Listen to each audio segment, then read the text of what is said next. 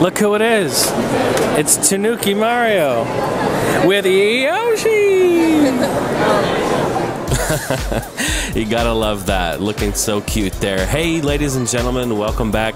Another quick little video here, just a recap, brief recap of the Phoenix Convention Comic Con here that was held at the Phoenix Convention Center May 28th through the 31st. There's so much to do here at Comic Con, and I can't capture all of it, honestly. Even in the three days that I was going back and forth to the show, you can't capture it all. There's amazing cosplay, local businesses, there's a whole bunch of culture, pop culture, everything from games to nerd culture to media to uh, you name it. So it was quite fantastic. I love going there. I love going there. I've been I've been going there for this is my sixth year uh, here locally, so it's it's been pretty fun. So absolutely, if you're in the Phoenix area, this is a must go to convention. PhoenixComicCon.com.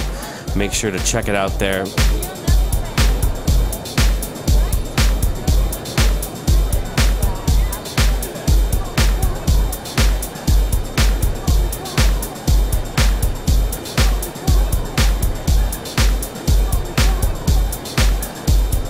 Look at these really cool toys right here. I love this Duke Forever. I really wanted it, actually. I, I, cut out the footage, but I went back to it a few times. I was like, man, that looks really cool. It's time to kick ass and chew bubble gum. I'm all out of gum. Uh, Pete Dorr actually gave me a really cool Duke figurine that I still have actually right here to my right, looking right at him. Really cool stuff. Team Fortress 2, some Mass Effect. Steph loves that Mass Effect stuff. Steph loves the cosplay, so there's lots of really cool um, things to do and see there. But look at these. These are really cool uh, shields here that we saw. They're all made out of foam. Amazing work there.